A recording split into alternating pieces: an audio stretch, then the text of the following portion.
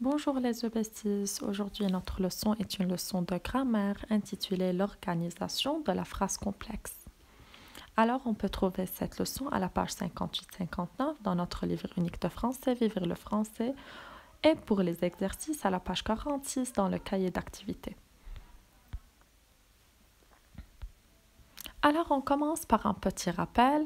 C'est quoi la phrase simple et la phrase complexe et qu'est-ce qu'une proposition? Une proposition est un groupe de mots organisés autour d'un verbe conjugué. C'est-à-dire lorsqu'on a un verbe conjugué avec une suite de mots, alors ça forme une proposition. Une phrase simple est organisée autour d'un seul verbe conjugué. On sait bien qu'une phrase simple contient un seul verbe conjugué. Alors on dit qu'elle est formée d'une seule proposition. Mais une phrase complexe est composée de deux propositions en moins alors de proposition au plus, alors c'est une phrase complexe. Une phrase simple alors est une phrase est simple lorsqu'elle ne comporte qu'un seul verbe conjugué, alors c'est une proposition indépendante, c'est à retenir. Dans une phrase simple, on dit qu'elle est formée d'une proposition indépendante. Exemple, il monte les escaliers. Alors, dans cette phrase, on a un seul verbe conjugué, c'est le verbe monte. Mais une phrase est dite complexe lorsqu'elle contient plusieurs verbes conjugués. Elle a autant de propositions que de verbes conjugués. Exemple, Ismail lit un livre qui semble très intéressant. Alors, on regarde bien cette phrase. On a lit, c'est le premier verbe. Et ensuite, semble, c'est le deuxième verbe. Alors, on dit, puisqu'il y a deux verbes conjugués, alors on a deux propositions, alors c'est une phrase complexe. Alors, pour connaître le nombre de propositions, il faut compter les verbes conjugués. Il faut faire attention, on, on, compte seulement les verbes conjugués et non pas les verbes à l'infinitif. Les verbes à l'infinitif, on les compte jamais. Alors, exemple, il se couche et s'endort vite. Dans cette phrase, on a deux verbes, se couche et s'endort. Alors, puisqu'on a deux verbes conjugués, alors on a deux propositions, alors c'est une phrase complexe. Maintenant, comment sont reliées les propositions l'une à l'autre dans une phrase complexe? Soit par juxtaposition, c'est-à-dire avec un signe de ponctuation, alors on dit que les propositions sont juxtaposées, soit par coordination, c'est-à-dire avec une conjonction de coordination ou bien un adverbe de liaison, alors on dit que les propositions sont coordonnées, ou bien soit par subordination, alors avec un pronom relatif, une conjonction de subordination ou un mot interrogatif. Alors maintenant, on va voir chaque type à part. Alors, pour une phrase complexe, on a dit que les propositions peuvent être coordonnées, c'est-à-dire on a deux propositions reliées l'une à l'autre par une conjonction de coordination et, comme on a déjà appris, les conjonctions de coordination sont mais où est donc ornicar? Alors mais, où et donc or ni car, ce sont les conjonctions de coordination. Alors, lorsqu'on voit qu'il y a une de ces conjonctions de coordination qui relie entre deux propositions, on dit que les propositions sont coordonnées. Exemple, je vais à la piscine, donc je prends mon maillot de bain. Alors, on voit je vais à la piscine, c'est la première proposition. On a le premier verbe conjugué, verbe aller, je vais. Ensuite, on a donc je prends mon maillot de bain. Alors, j'ai verbe prendre, je prends. Alors, là, on a deux propositions. Alors, c'est une phrase complexe. Comment sont-elles reliées ces deux propositions? Par le mot de liaison donc, ou bien par la conjonction de coordination donc. Alors, on dit que ce sont des propositions coordonnées. Pour les propositions juxtaposées, c'est-à-dire par juxtaposition, on a déjà dit qu'ils sont reliés l'une à l'autre par un, un, signe de ponctuation, exemple, ou bien par une virgule, un point virgule, deux points, ou bien par un point. Exemple, tous les soirs, Chris chante, virgule, danse avec sa sœur, point.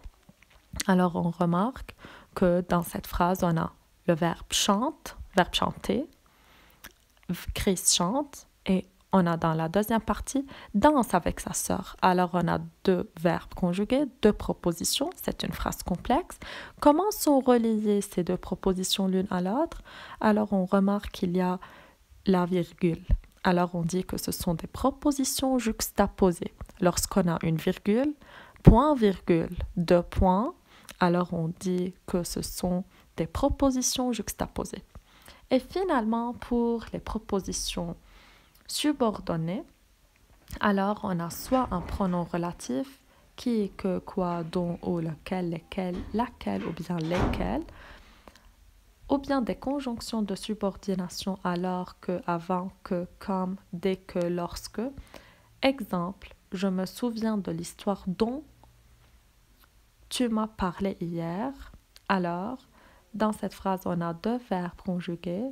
Le premier verbe, verbe se souvenir, et le deuxième, tu as parlé. A parlé, verbe parler au passé composé.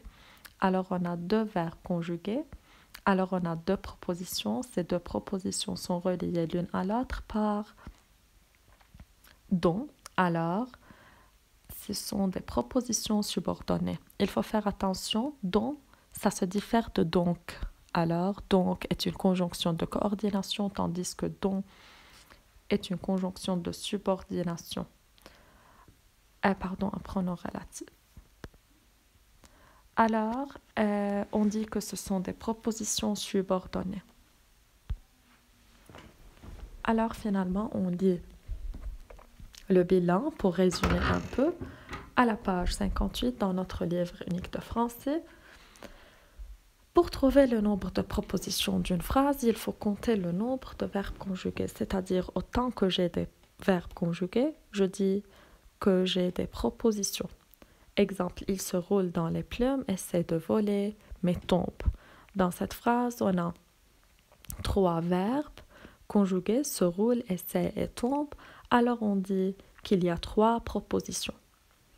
Il faut faire attention, le sujet ou le verbe de la première proposition peut être sous-entendu dans les suivants exemples. Karim s'intéresse à la mythologie, son frère au cinéma. Au lieu de dire son frère s'intéresse au cinéma, alors on a effacé le verbe s'intéresser. Alors, on dit que cette phrase est formée de deux propositions, mais le verbe dans la deuxième est effacé. Chaque verbe est le noyau d'une proposition. Ces propositions peuvent être reliées par trois moyens différents, ou bien par la juxtaposition. Les propositions sont reliées, par un signe de ponctuation, virgule, point, virgule, de point. Exemple, il est fou. Il veut voler. Alors, verbe être. Ensuite, verbe vouloir. Il est, il veut. Alors, ces deux propositions, puisqu'on a deux verbes conjugués sont reliés l'une à l'autre par la virgule, alors on dit que ce sont juxtaposés. Et faisait attention, on n'a pas compté le verbe voler parce qu'il est à l'infinitif, alors je ne le compte jamais. Je compte seulement les verbes conjugués. Ou bien par la coordination, les propositions sont reliées par une conjonction de coordination, mais où est donc ornicar, ou un adverbe de liaison, puis ou bien alors. Exemple, il vole mais il tombe Alors, on a deux verbes, verbe voler, il vole, et verbe tomber, il tombe. Alors, ces deux verbes sont reliés. Alors, on, on dit que ces deux propositions sont reliées l'une à l'autre par la conjonction de coordination mais. Alors, ce sont des propositions coordonnées et finalement, la subordination, la principale, est complétée par une subordonnée introduite par une conjonction de subordination, quand, si, parce que, ou bien par un pronom relatif qui, que, quoi, dont, ou, lequel, laquelle, et ainsi de suite. Exemple, il s'est mis en colère quand elle est partie. Alors, dans cette phrase, on a s'est mis en colère ou bien elle est partie. Alors, ces deux propositions sont reliées l'une à l'autre par quand, la conjonction de subordination. Alors, on dit que ces deux propositions sont subordonnées. Alors, ce sont les exercices, on va les faire plus tard. Et maintenant, notre leçon est terminée. À bientôt. Regardez la vidéo plusieurs fois et à demain, mes chers.